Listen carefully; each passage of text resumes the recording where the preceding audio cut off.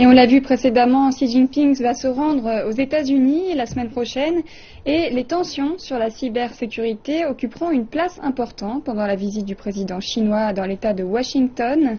Euh, jeudi dernier, un haut dirigeant chinois a déclaré que la Chine luttait contre le piratage sur Internet et était déterminée à éradiquer de telles activités.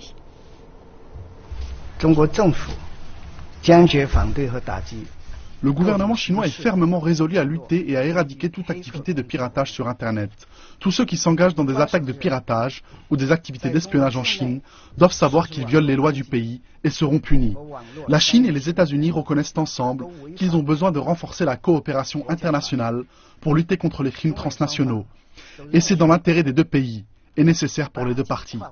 Nous continuerons de renforcer la lutte déterminée contre les crimes transnationaux sur la base du respect mutuel des intérêts communs, notamment sur la coopération dans la lutte contre la corruption, pour arrêter ceux qui ont fui à l'étranger et pour récupérer les capitaux illégaux détenus à l'étranger.